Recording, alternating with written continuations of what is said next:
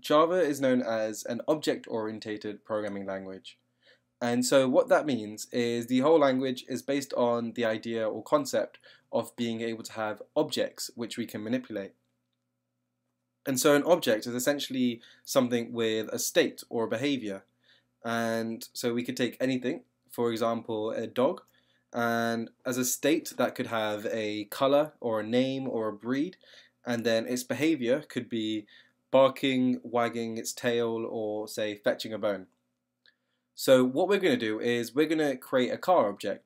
And now the way we do that is we actually use a class. And so as you can see here, I've created a class called car object. And what that's going to be is essentially the blueprint for our object. And so what that means is we can put all its states, all its different behaviors that we want inside this class, and then we can instantiate it in another class, which we can then use however we see fit.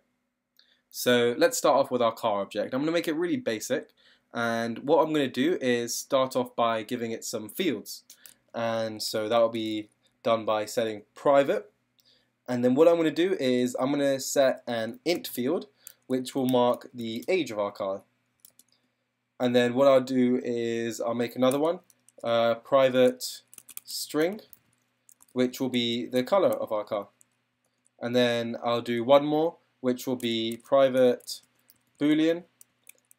And it will be is engine running.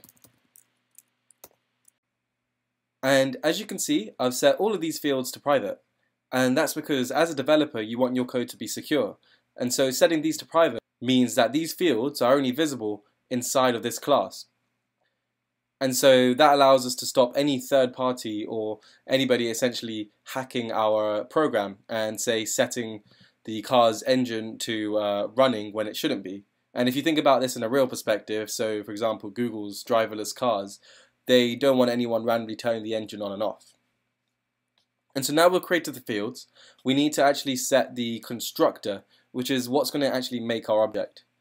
So I'm going to have public and then the name of the object or the name of the object type which is going to be car object so the same as the class. And then we need the parameters. So the car will have an age when we make it uh, color. And it will either have its engine running or not. And then we have all the code that's going to run when we instantiate the object in between a pair of curly braces and so now here we have all the data that we set when we actually call or create the object, but here we have the name of the fields which actually represent the object. And so we need to connect what we set and the actual fields of our object. And the way we do this is by introducing a new keyword which we haven't seen before, and that's the this keyword. And so as you can see, we've actually got two data types, uh, age and age with the same name. And so what we do to refer to this age i.e. the age that belongs to the object, is use this dot age. And then we can set that to age, which will refer to the age which we actually select for the car.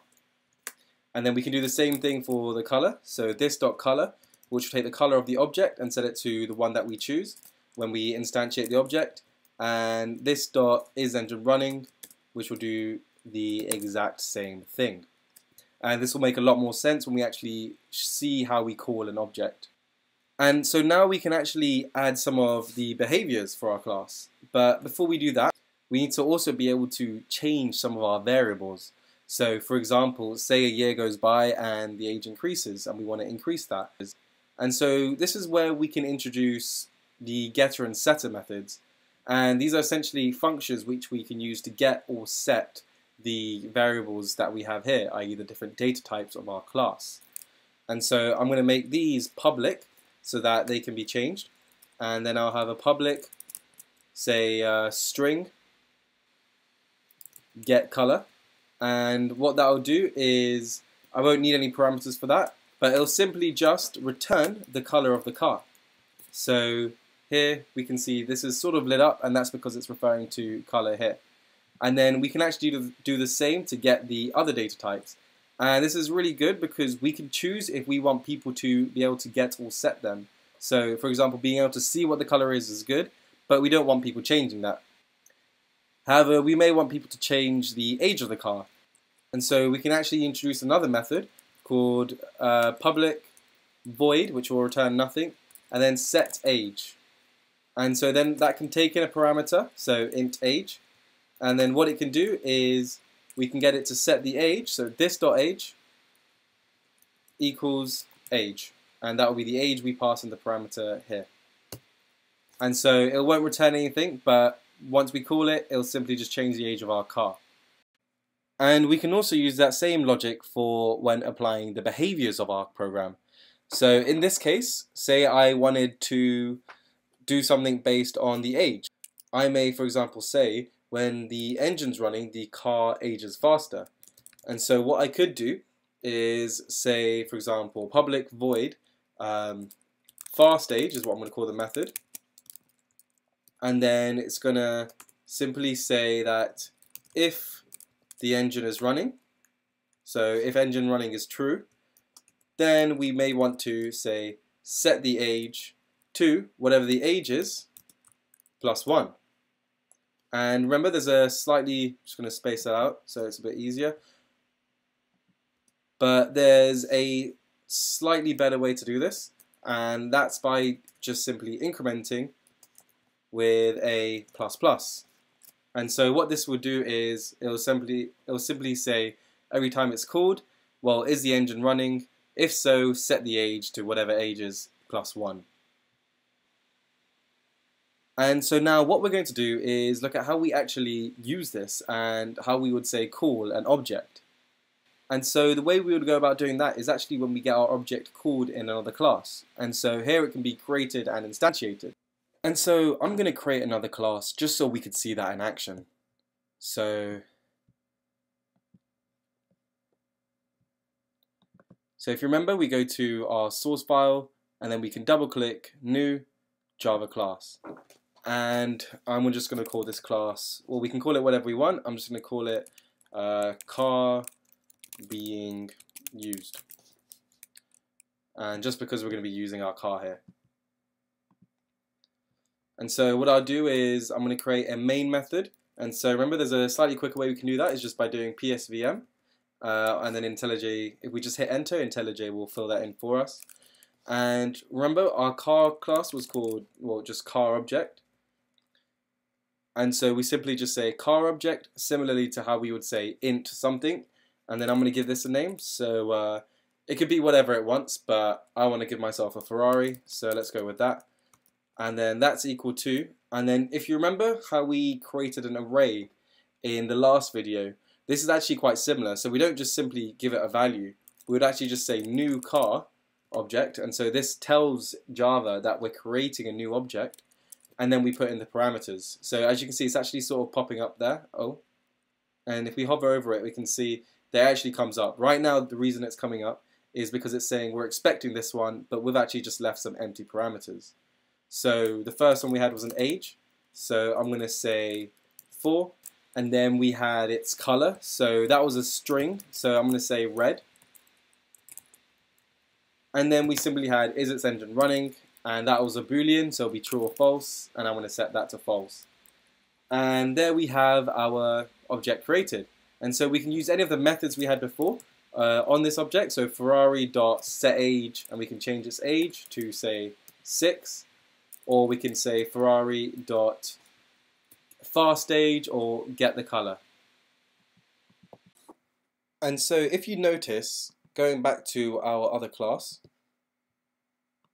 then you can see that it's only the methods we created that appear.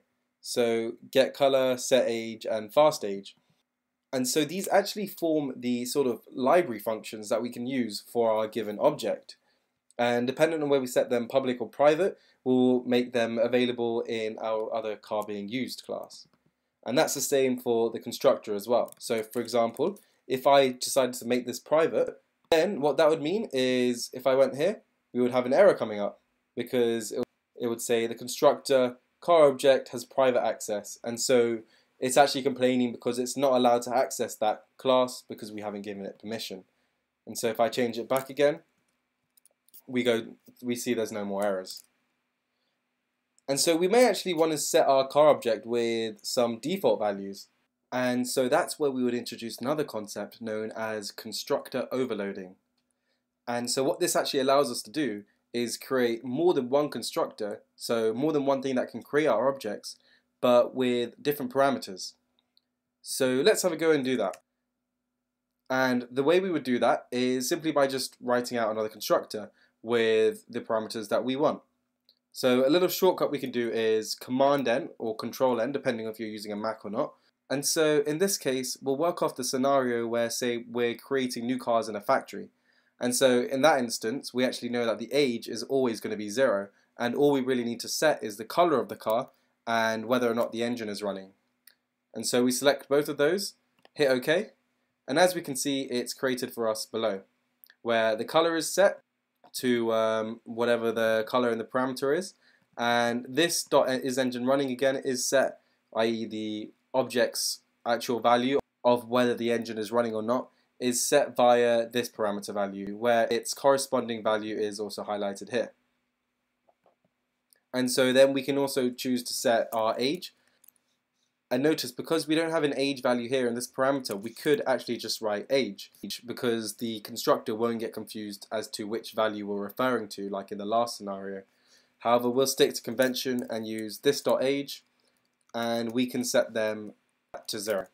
And so now if we go to our other class and we can create another car object and we'll just make this one a Porsche and then we can set a new car object where we simply just set the color. So I'm going to go for a blue. I'll stick with convention since we did capitals in the last one. And then we're going to say the engine is not running, so false. And if I, end that line we can see it creates it with no errors being used. And what I'll actually do is I'll create a get method which allows us to see what the age is of the car. And then we can actually see if this is zero. So we follow the exact same situation where we could write public uh, string get, but or public int in this case and get. However, we're going to do a nice little shortcut where we do the same thing again, so Command N or Control N, and then this is a getter, so we're going to hit enter with the getter and get the age.